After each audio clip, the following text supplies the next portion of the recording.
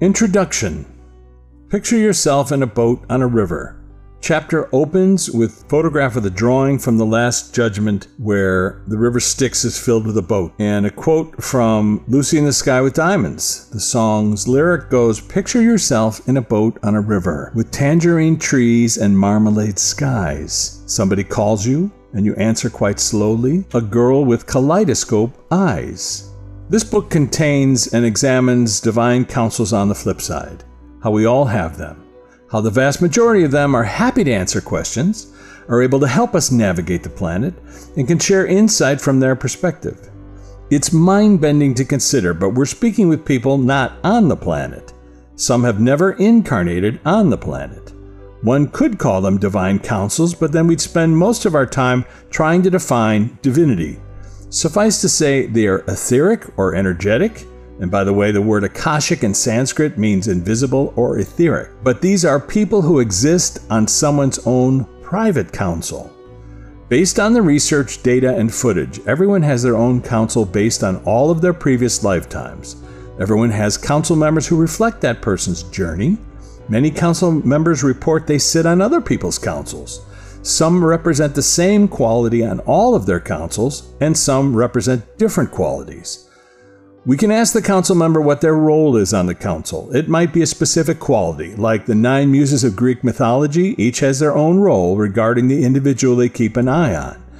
They can be asked, What do you represent on this person's council? When asked, they might represent another quality on another council. Some council members sit on thousands of councils, others sit on just a few. Sometimes people encounter a new council member, but the council member can be asked, What role do you represent on their council? The number of council members is dependent upon the journey of the individual. The number may increase depending how many lifetimes one has had. For example, someone with a large council, let's say over 10, generally means they've been at this for a while. Each degree, quote unquote, they've earned over the course of a lifetime or many lifetimes may be represented by the number of council members.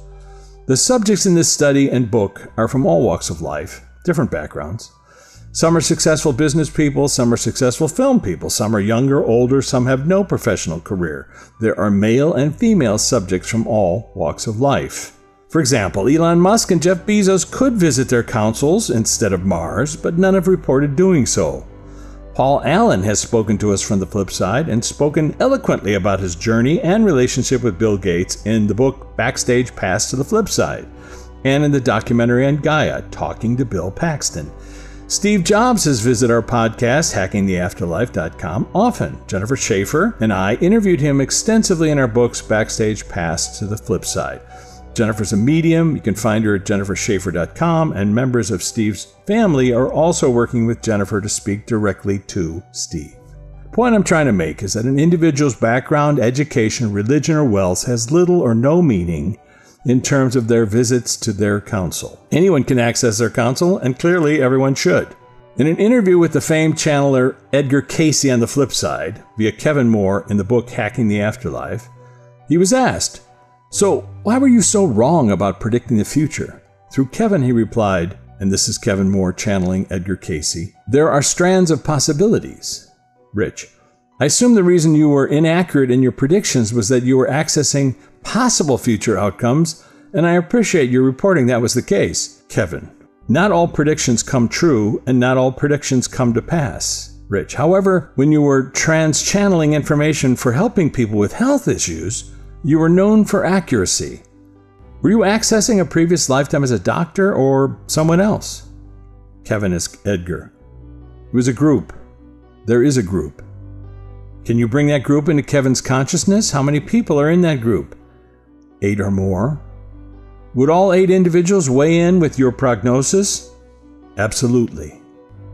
Had these people incarnated on the planet as doctors or healers? No.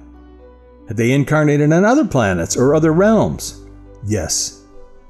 Were they bringing their expertise to help you heal people with their expertise?